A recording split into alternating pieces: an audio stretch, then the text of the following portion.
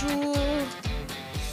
Donc on a le plaisir pour finir euh, cette euh, journée d'avoir euh, deux keynotes sympathiques. On va commencer par celle de Brevo autour de l'intelligence artificielle dans le domaine de l'expérience client aussi, pas que. Donc pour ce faire, je vais appeler Michael Arias sur scène.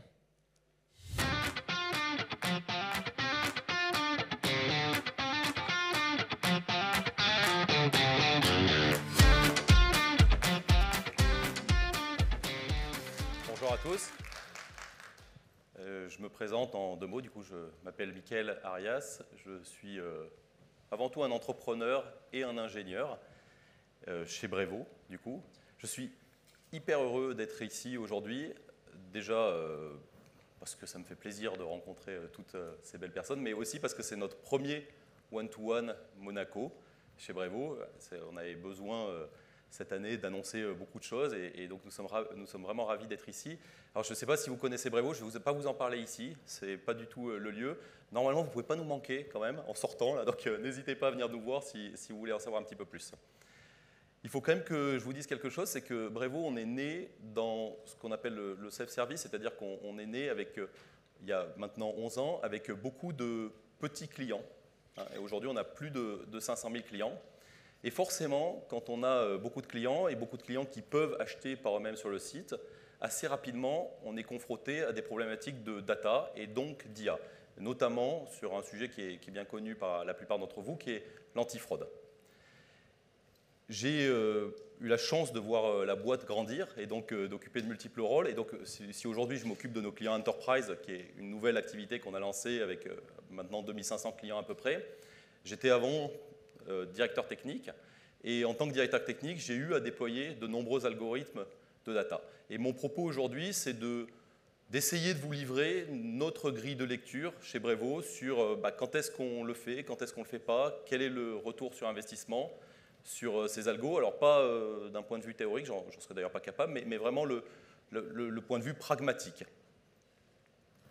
D'où le titre, quel, ROI, quel ROI pour vos projets d'IA il y a un constat qui, je pense, est largement partagé aujourd'hui et qui est dans l'air, c'est que l'IA, ça coûte cher.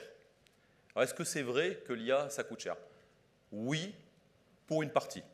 Et c'est ce qu'on va voir. Le MIT a fait une étude euh, récente, très sérieuse, dans, dans laquelle ils ont dû modéliser les coûts de l'IA. Et ils l'ont décomposé principalement sur des coûts techniques, avec les coûts de réalisation, bien entendu, d'implémentation des algorithmes, les coûts de développement, les coûts d'entraînement, du modèle initial, les coûts de réentraînement, puisqu'il faut continuer à apprendre, enfin il faut que la machine continue à apprendre en permanence, et euh, bien entendu tous les coûts d'exploitation. Alors pour moi d'ailleurs, il manque euh, dans la formule un coût qui est important, qui est le coût humain, parce que l'IA fonctionne rarement sans des êtres humains, et donc il y a un coût nécessaire à former les équipes qui vont utiliser ces outils. Alors c'est la, formule qui est, qui est en dessous là, euh, si, vous voyez une erreur, vous n'hésitez pas à me le dire. Je n'ai pas regardé en détail, mais normalement, le MIT, c'est quand même assez sérieux. Alors, sur la base de cette étude, j'ai une mauvaise nouvelle qui est connue, et puis une très bonne nouvelle. La mauvaise nouvelle, c'est que oui, l'IA peut remplacer pas mal de jobs aujourd'hui. La bonne nouvelle, c'est que dans 77% des cas, elle est plus coûteuse à résultat équivalent que le salaire des personnes qui auraient effectué la même tâche. Et quand on regarde le détail de l'étude, en fait, c'est encore un petit peu plus marquant que ça, parce que l'étude se concentre sur les jobs qui peuvent réellement être remplacés par l'IA là tout de suite. Donc beaucoup de choses, notamment euh, associées à la vision. Euh, si on prend un cas dans le retail, ça peut être des, inventaires automatisés, ou euh, ça peut être, bien entendu, du, contrôle qualité.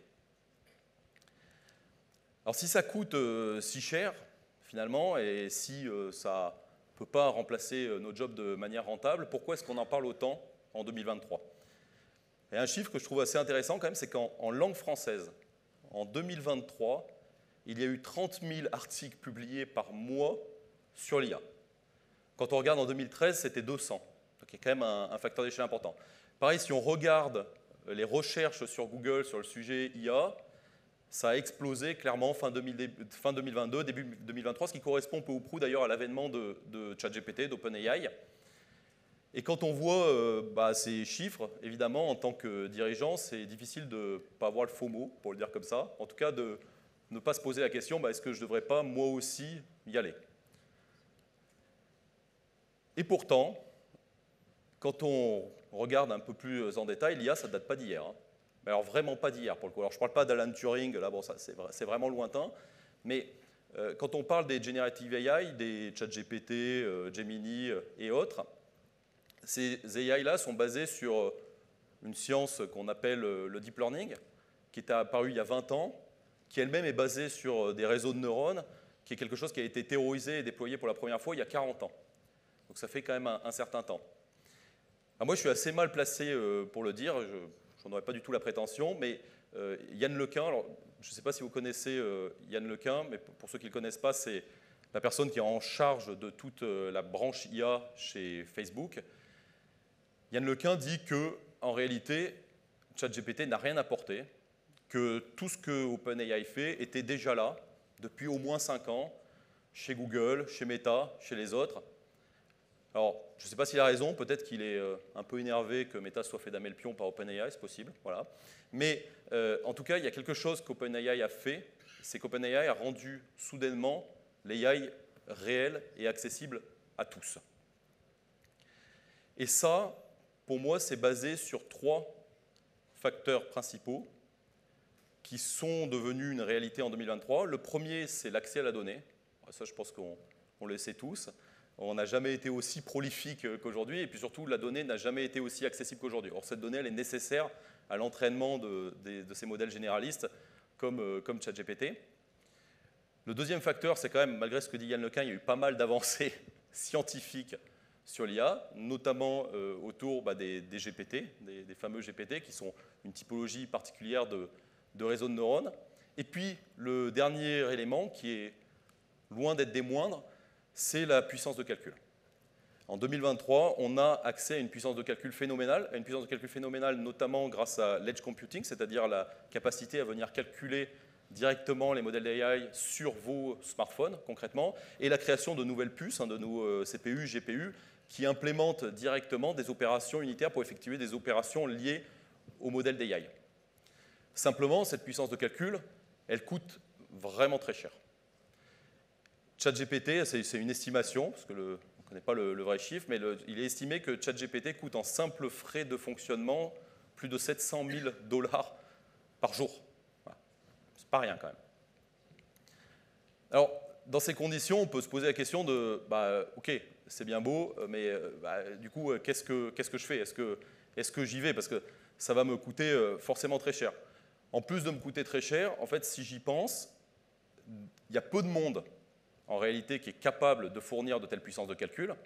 ces quelques personnes, on les connaît bien, c'est euh, les grands euh, providers de cloud, euh, Microsoft, Google, Apple. Et donc, je, vais me créer une dépendance supplémentaire de nouveau à ces grands acteurs. Alors, est-ce qu'il faut y aller? La, réponse est, enfin pour moi en tout cas, et qui, suis un adepte de la technologie en plus, la réponse est évidemment oui. Alors oui, parce que d'abord, je pense que c'est important de se tenir à la page et que ça va aller beaucoup plus vite que ce qu'on pense, euh, que les puissances de calcul, bah, elles coûtent aussi de moins en moins cher et que l'impact est, de plus en plus grand.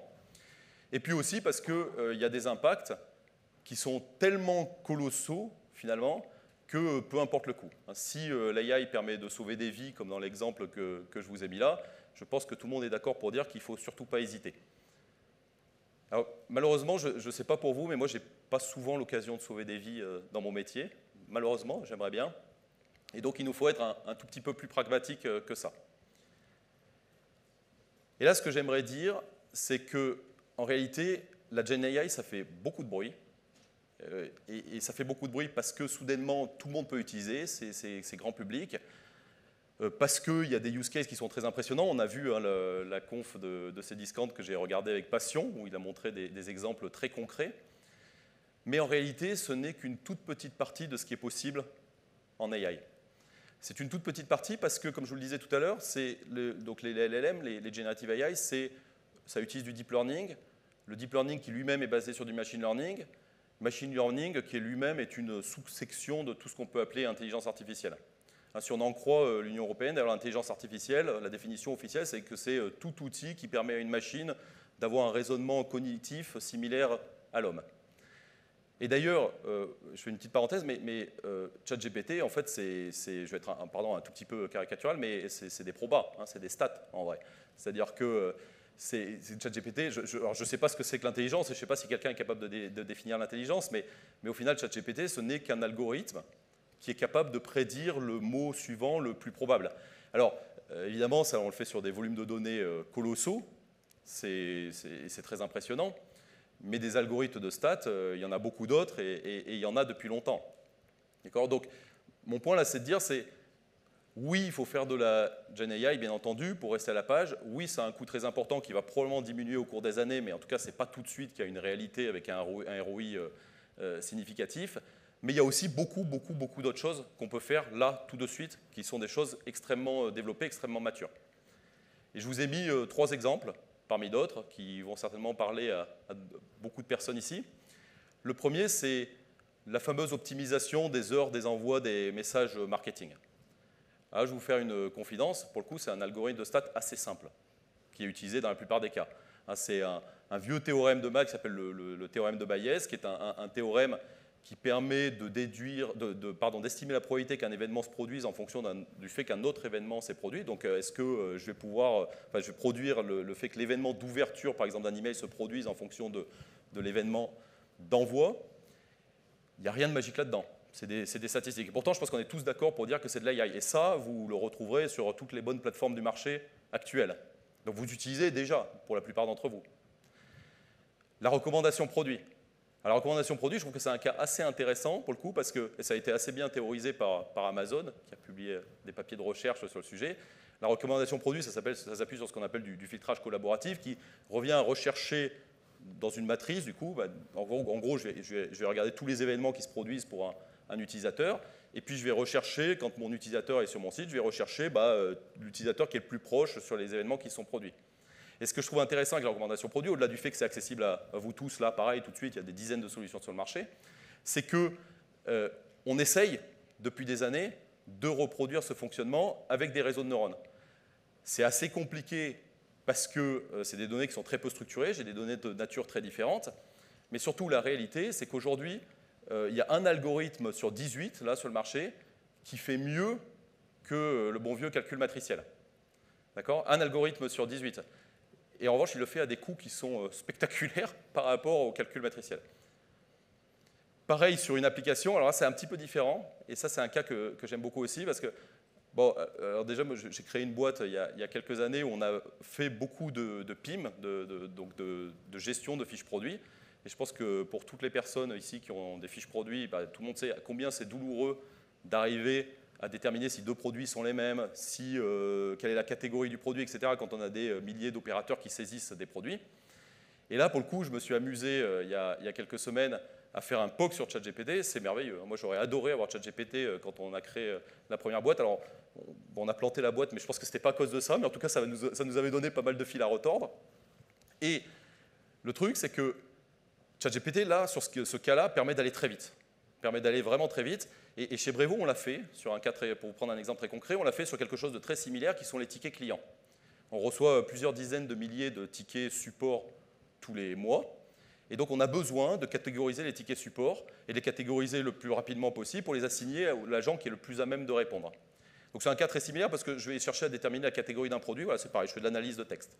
On l'a fait au départ avec euh, ChatGPT. Ça marchait très bien à part qu'il hallucine de temps en temps, il crée des catégories qui n'existent pas quand même. Mais bon, mis à part ce cas-là qu'on peut filtrer, ça marchait très bien. Mais en revanche, ça a un coût qui est très important, c'est un coût de fonctionnement qui est très important.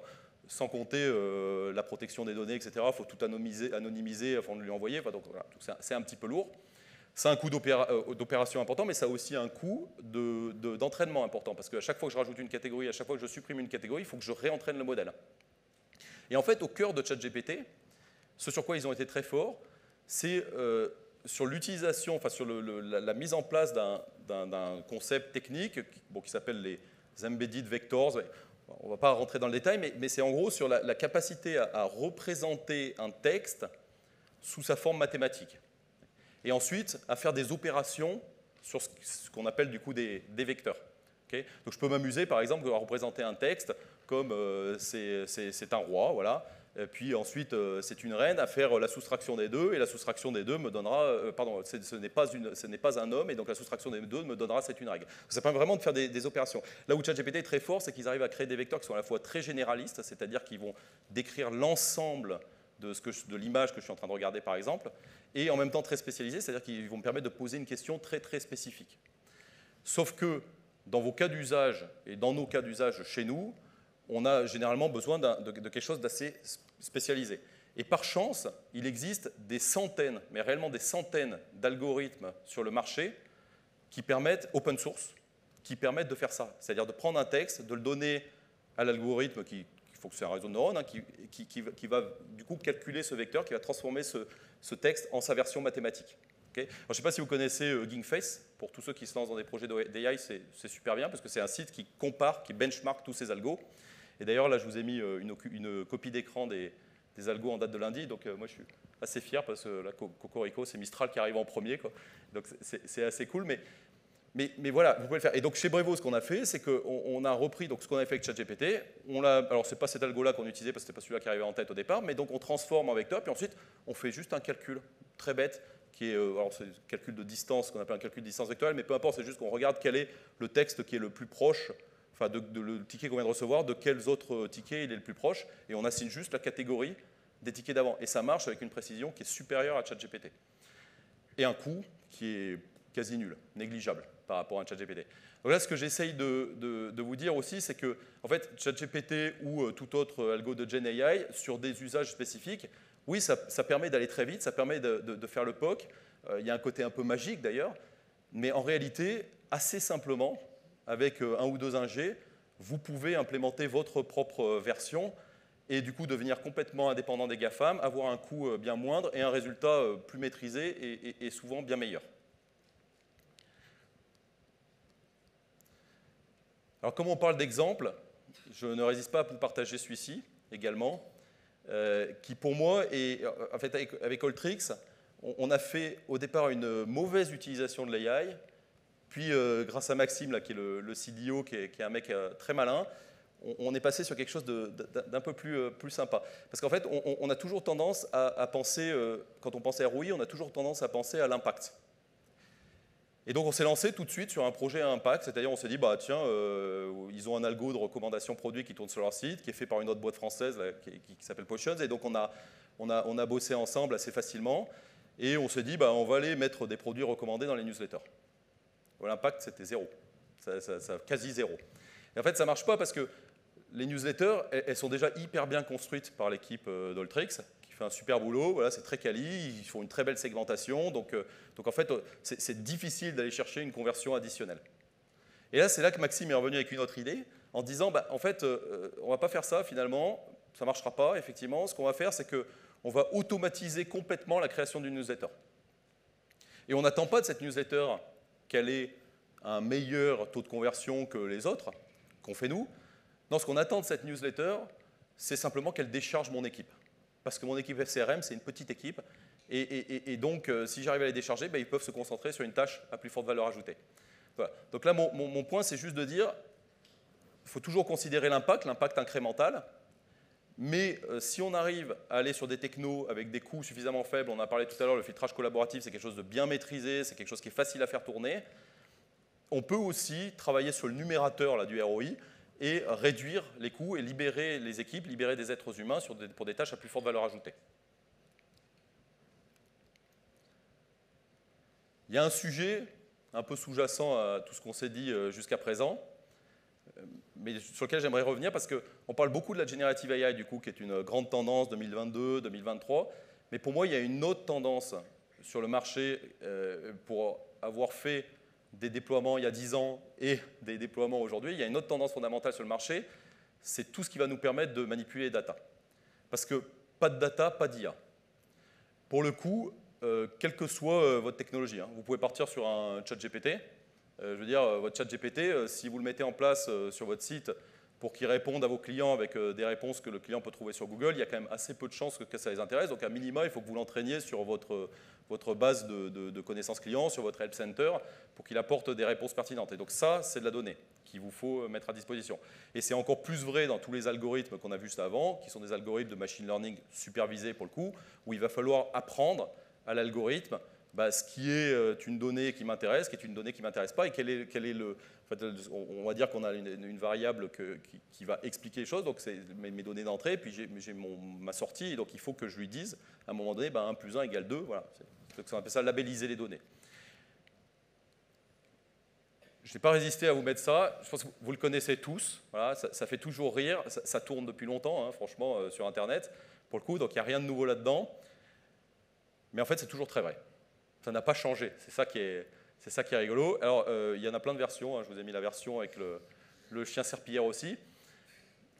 Là, comme ça, ça paraît assez basique. Euh, en réalité, constituer la base de ça va être, bah, je vais dire, je vais aller chercher toutes les images de chiens, toutes les images de serpillière que je peux, là, un grand volume, et puis je vais dire, bah, je vais labelliser mes images en disant, bah, ça c'est un chien, ça c'est une serpillière, ça c'est un chien, et puis c'est ça que je vais donner à manger à, mes algos. Euh, qui, eux, ensuite, du coup, vont apprendre là-dessus, à prédire le résultat. Sauf qu'en fait, quand on regarde un petit peu dans le détail, en tout cas nous, dans tous les projets qu'on a déployés, bah, la constitution du dataset, c'était le truc le plus compliqué. Ça a toujours été le truc le plus compliqué. En fait, la partie noble là, euh, que les data scientists aiment bien faire quand on commence à s'amuser avec les algos d'IA et tout ça, euh, en tout cas à notre niveau, nous, en tant que boîte, hein, je ne parle pas des gens qui font de la recherche comme Yann Lequin, etc., dans, dans, les GAFA, mais nous, en tant que boîte, euh, en fait, les algos, ils sont là, quoi. Ils, sont sur, ils, sont, ils, sont, présents sur étagère, c'est juste faire marcher des briques ensemble. Donc, ce qui était dur à chaque fois, c'est d'aller chercher la donnée. C'est dur d'aller chercher la donnée parce que des fois, elle n'existe pas. Alors, ça paraît euh, comme ça un peu euh, bizarre, alors qu'il y a tant de données accessibles là en 2023. Mais des fois, elle n'existe pas simplement parce qu'on ne la crée pas. Nous, on avait par exemple, je vous fais un, un exemple assez, assez court. à un moment donné, on s'est dit, bah voilà, on a plein de créations de comptes on, est, on a dans notre métier euh, historique, qui est d'envoyer de l'email, on se doit d'éviter d'avoir des spammers, et encore pire, des ficheurs, évidemment. Grosse partie de notre métier. Et donc, euh, forcément, ce qu'on a fait au début, quand on avait assez peu de comptes, c'est qu'on avait une validation manuelle sur les comptes. Donc, euh, chaque fois qu'il y avait quelqu'un qui demandait à être validé, il ne demandait pas explicitement, mais il faisait des trucs dans le produit qui fait qu'on avait envie de le valider, hop, il passait dans une file d'attente, et puis il y avait des agents qui allaient valider automatiquement à la main. Bon, quand on a commencé à avoir plusieurs millions de personnes qui testent la solution par mois, euh, il a fallu réfléchir un peu à comment automatiser tout ça. Et là, ce dont on s'est rendu compte, c'est qu'en fait, nous, on validait les comptes. On ne les dévalidait pas. Donc en fait, entre le client qui avait demandé à être validé, qui était rejeté, qui du coup n'était jamais validé par l'équipe, et le client qui, euh, n'avait rien demandé, qui ne passait jamais en validation parce qu'il avait décidé de ne pas continuer avec le produit, il n'y avait aucune différence. La donnée n'existait tout simplement pas. On a également eu des, sujets sur euh, le contexte. Parce que malheureusement, s'il y a quelqu'un qui passe quand même entre les mailles du filet et qui commence à créer un contenu sur la plateforme, bah, pour différencier un contenu euh, de phishing sur la Société Générale et un contenu légitime envoyé à la Société Générale, si vous donnez ça à un algo comme ChatGPT, par exemple, on l'a testé avec ChatGPT, ChatGPT, il dit les deux, c'est du phishing. Hein, parce qu'on lui a appris euh, à reconnaître, mais parce qu'il lui manque une info de contexte. Le contexte, c'est que bah, le compte que je suis en train de regarder, c'est le vrai compte de la, de la Société Générale. Donc, toujours avoir tout le contexte, toute la donnée. Et puis, euh, euh, il y a aussi euh, des, sujets de, filtrage. Il faut faire attention à comment manipuler la donnée. Par exemple, aujourd'hui, on a, un algo qui tourne en, interne de machine learning qui nous permet de l'interroger sur ce que les gens pensent de nous sur les réseaux sociaux quand on fait une release, par exemple, produit. D'accord? Au début, quand on lui a donné à manger tous les messages de tweet, enfin X, pardon, pas Twitter, quand on lui a donné tous les tweets à manger, là, on a oublié d'enlever les nôtres. Et donc, en fait, on a oublié d'enlever nos réponses qu'on fournissait nous-mêmes aux clients qui nous posaient des questions. Donc forcément, les, résultats étaient complètement biaisés. Euh, tout ça pour dire qu'il y a beaucoup de biais possibles dans la data. Et en fait, la constitution du dataset, c'est un, sujet vraiment compliqué, au-delà du simple sujet technique d'aller chercher les données, qui déjà est, assez complexe. Et la grosse tendance pour moi des dernières années, hein, ce n'est pas juste 2023, ça date un petit peu, eh c'est la mise à disposition de très nombreux outils qui permettent de faire ça. En haut, je vous ai mis des outils qui sont des outils techniques, qui sont les outils qui sont utilisés, je pense, à peu près une grande partie, on va dire en tout cas, des équipes data euh, euh, actuellement. Vous avez par exemple Airbyte et Meltano qui sont des outils qui permettent d'aller chercher les données où elles se trouvent, qui sont intégrés avec euh, tous les outils du marché que vous connaissez, CRM, etc. ou les pousser d'ailleurs en retour dans l'autre sens. Et puis vous avez des outils comme DBT qui sont des outils qui vont vous permettre de préparer la donnée. Où je vais écrire assez simplement des, petits morceaux de code qui vont me transformer mes données pour qu'elles soient dans le format que je souhaite utiliser. Et puis il y a un autre outil qui est apparu encore plus récemment qui est la CDP, la Customer Data Platform. Et la Customer Data Platform, pour moi, c'est un vrai truc aussi parce que ça permet aux équipes métiers, euh, vous, d'aller rapidement sur la constitution des datasets sans avoir recours à une équipe data. Et ça, ça améliore considérablement sur les projets d'IA le time to market, tout simplement. Alors, euh, chez Brevo, on va une CDP, mais je vais quand même être honnête, quand vous passez en prod et que vous commencez à scaler, c'est bien de repasser sur les outils techniques qui sont en haut, mais en tout cas, vous aurez gagné beaucoup de temps dans le process. Donc au-delà de la GenAI, sur laquelle il faut rester quand même euh, informé, je dirais, parce que, encore une fois, je, pense que... Bon, il y a des gens qui disent que ça va prendre un an, mais moi je pense que le temps qu'on arrive à diviser correctement, qu'on arrive à optimiser les puissances de calcul euh, pour réduire le coût, mais sans parler euh, de l'impact environnemental également, il va plutôt se passer 4-5 ans probablement. D'ailleurs, si on regarde la loi de Moore, ça correspond à peu près à ça, on va arriver à, à 5 ans. Mais euh, il y a aussi beaucoup de choses que vous pouvez faire entre-temps. Préparer vos données, d'une part, et puis d'autre part, plein d'algos hyper mûrs sur le marché que vous pouvez vous amuser à tester avec euh, des solutions qui existent là, qui sont partout autour de nous. Donc au final, j'y vais, j'y vais pas sur l'AI. On s'amuse à mettre un petit jeu de mots. Nous, on y va, on y va si c'est cœur métier. Donc euh, tous les exemples que je vous ai donnés sont des exemples qui sont cœur métier, c'est-à-dire ce sont des, des, choses qui n'existent pas sur le marché, qui ne sont pas disponibles. Donc on va les implémenter nous-mêmes. On va les implémenter plus facilement avec des algos open source parce qu'on garde le contrôle entièrement de ce qu'on fait. Ce qui ne veut pas dire qu'on ne va pas faire d'époque avant avec euh, des technos répandus sur le marché euh, type ChatGPT. Évidemment, c'est cœur métier et c'est aligné avec la vision. Sans oublier de regarder le budget, combien ça va me coûter, en face de l'impact incrémental. Et puis, et là, franchement, euh, alors je vais peut-être choqué, mais je parle avec beaucoup, beaucoup de clients, et dont certains plein qui sont sur le salon. Là, d'ailleurs, merci, c'est hyper enrichissant de, parler avec vous tous. Mais euh, il y a encore beaucoup trop de boîtes qui ne sont pas du tout prêtes sur leurs données. Et, moi, le, premier endroit, alors je sais qu'il y a le FOMO, euh, en tant que dirigeant, on se doit d'aller de, sur les sujets d'AI, de se poser la question, de regarder en détail. Mais franchement, passez du temps sur vos données. C'est dur, il faut se faire mal, n'est pas un truc rigolo, mais c'est un endroit où vous devez vraiment investir aujourd'hui avec tous les outils que vous avez à vos dispositions. Pour moi, c'est la constitution des données. Merci.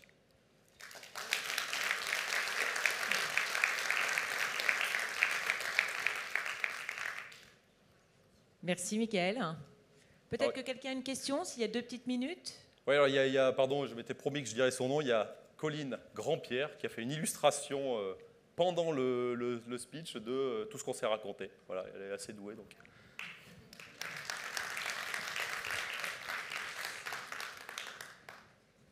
Merci, Michael. Est-ce qu'il y a une question dans la salle?